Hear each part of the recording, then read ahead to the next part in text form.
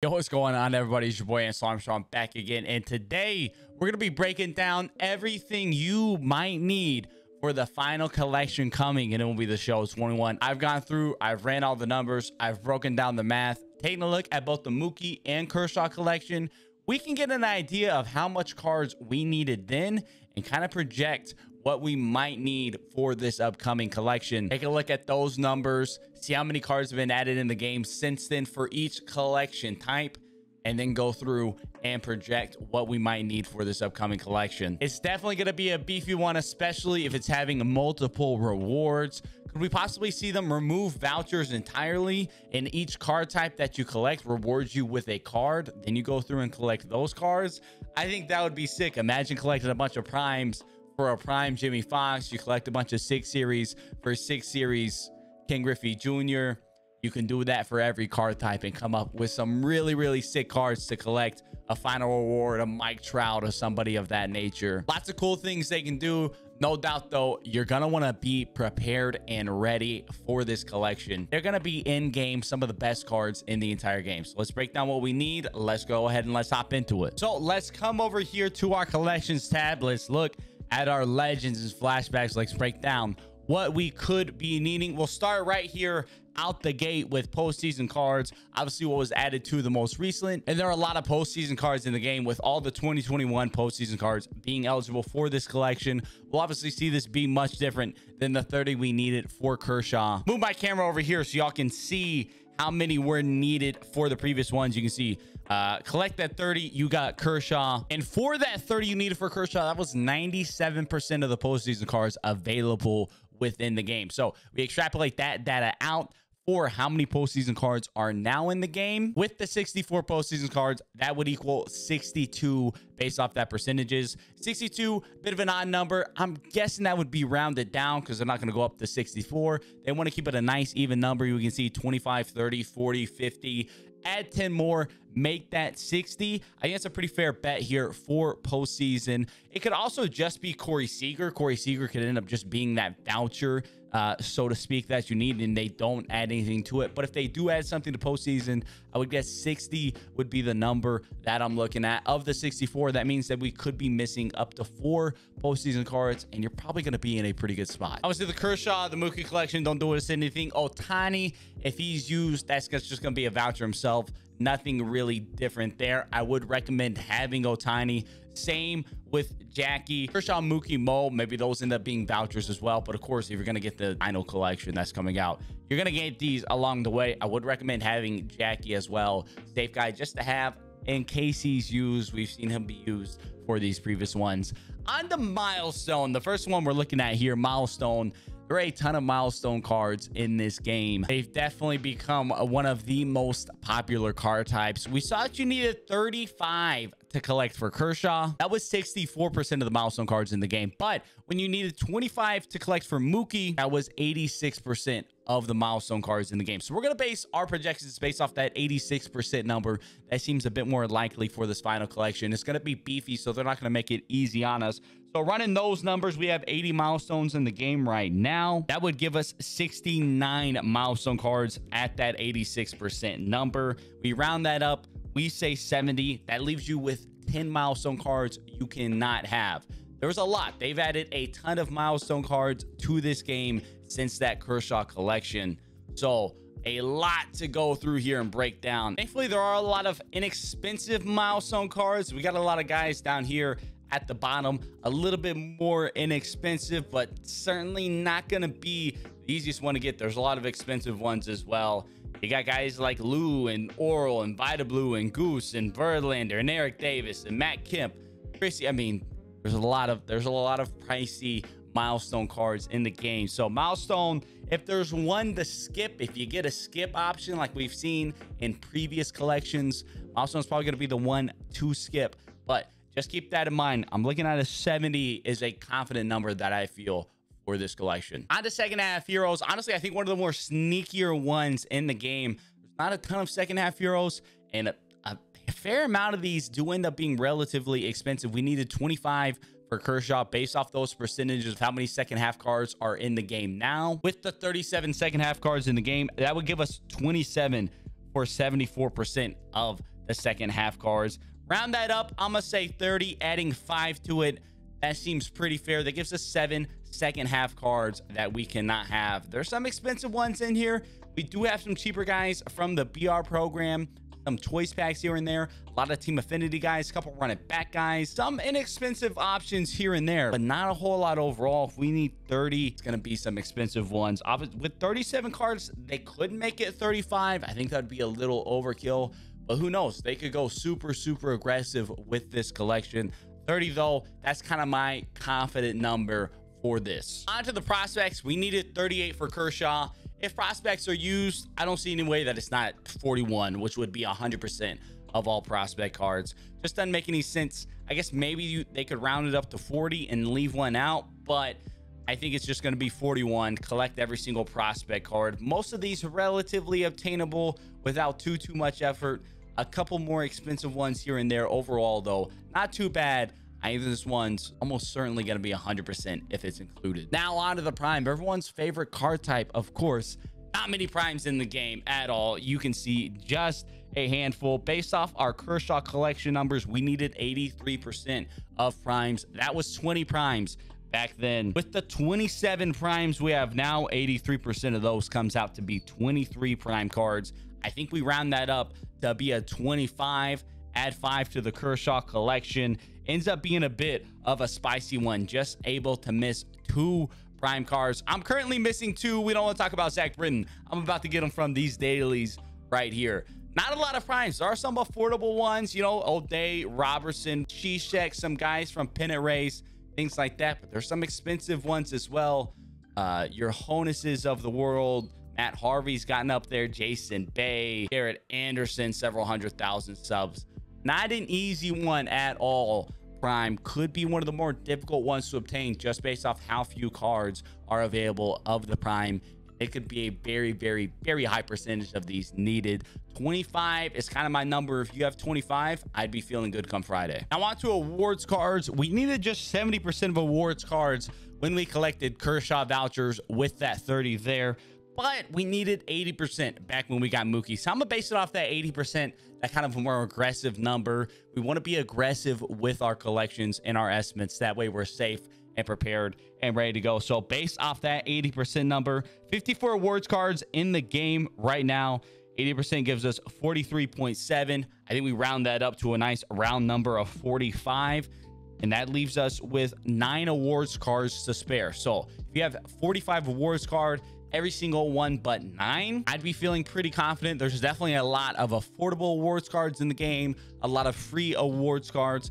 Of course, certainly some pricey ones as well, but overall, quite a few affordable ones. Awards should be relatively attainable. Collecting 45 allows you to skip some of the most expensive ones, target some of the more inexpensive ones, the more affordable ones, and you should be in a pretty good spot. Awards, feel confident that we're going to be able to lock that one out relatively easily compared to some of the other collections that we have. On to the six series. Six series, we needed just 56% of six series cards for Kershaw.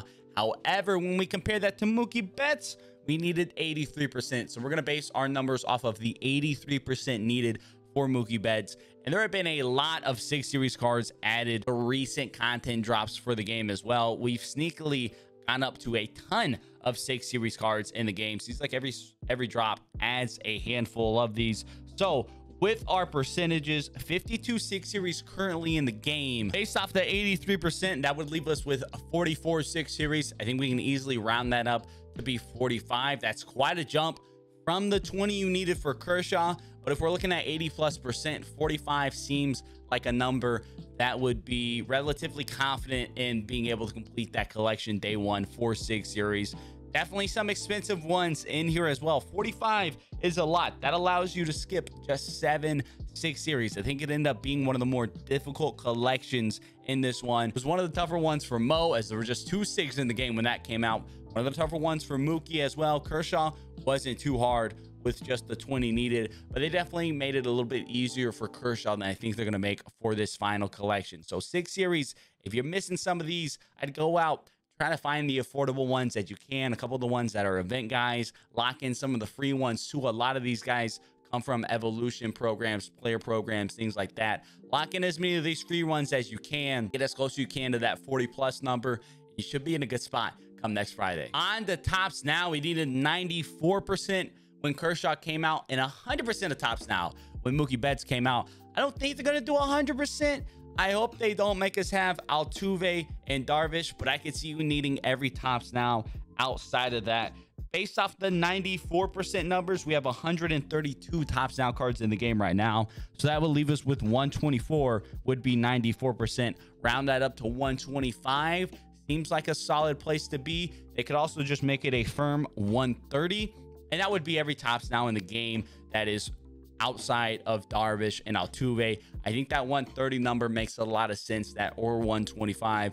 Just make sure you've gone through, you've completed all your Topps now moments, you got your Topps now cards, you're ready for this collection. Because if you don't, and you're missing Topps now if eh, eh, if you've sold some you don't have those anymore and you got to go and buy them come collection day we could see with some of the supply of these cards that Topps now prices fly up through the roof if you need a significant amount of them for some insane collection reward. Definitely going to be the card type that you need the most of when it comes to collection day come Friday. But again, outside of two of these, these are all these were all obtainable for free just by doing those moments. And if you've been keeping up with monthly awards, you're gonna have these Topps now, guys, anyways. Which speaking of monthly awards, we needed 50 for Kershaw that got us 86% of the monthly awards cards in the game. Based off the 70 awards cards we have in the game now, that 86% would give us the 60. I think 60 could be a good number. 65,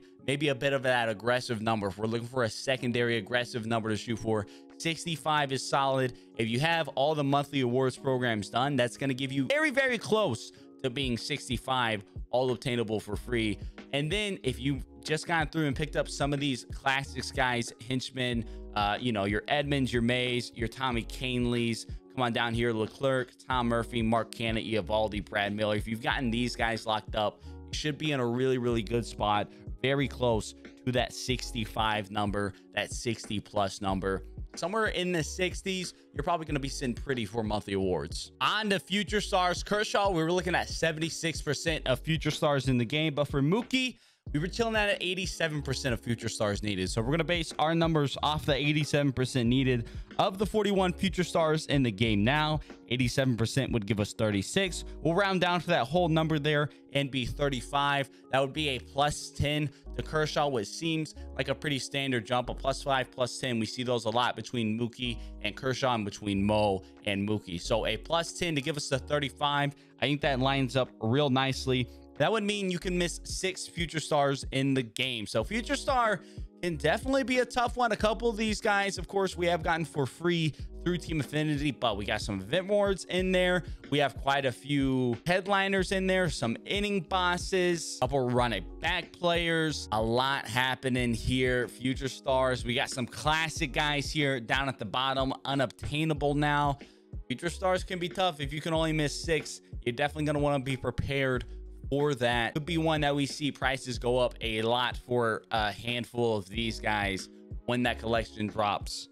But again 35's what i'm looking at if you're in the 30s i'd probably feel pretty confident it could definitely just be a plus five. I could see it bleeding a plus 10 that's kind of my aggressive number.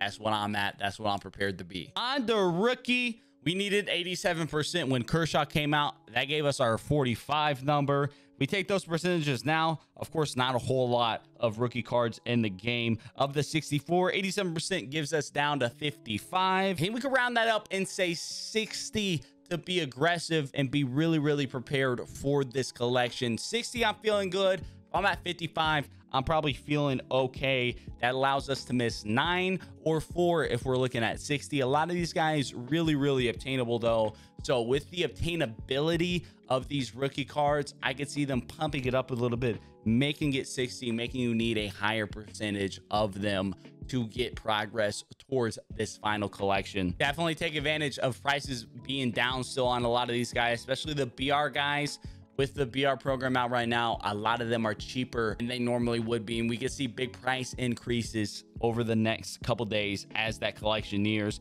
That goes for rookie, breakout, all-star, and vet. those card types used a lot for the silvers and golds in BR. So there is a lot of affordable ones there. Definitely make sure at minimum you have all of those as uh, those silvers and golds down at quick sell value right now just make sure you're ready and have those cards in your inventory. On the breakout for Kershaw, we needed 94% of breakout cards. Right now, there are 37 breakout cards in the game. They've not added much since Kershaw. So that 94%, if we get to a nice even number, that gives us the 35 breakout cards.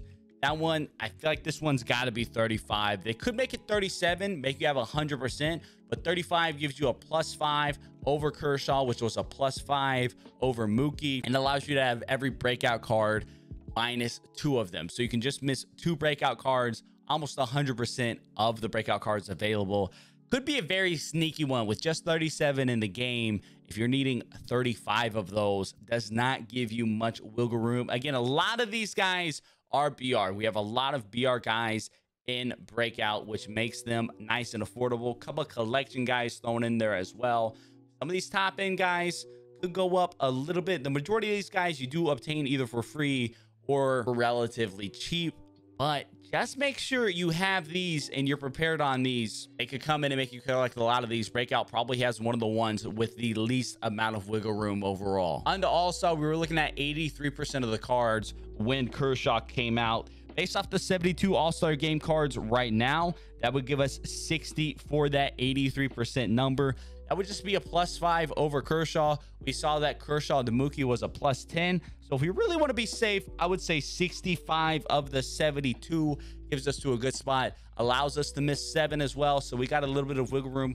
Definitely some expensive ones in here. Missing seven allows you to have a couple misses here and there. If you're at 60, I'd probably be feeling pretty okay overall. But if you're at 65, I'd be feeling really, really confident in that number based off these previous collection amounts as that plus 10 seems like a solid upgrade over Kershaw without making it 100% of the cards available. On to our last one here, Veteran Series, 87% needed for Kershaw. Based off that math, we would be looking at 47 veteran cards of the 54 in the game.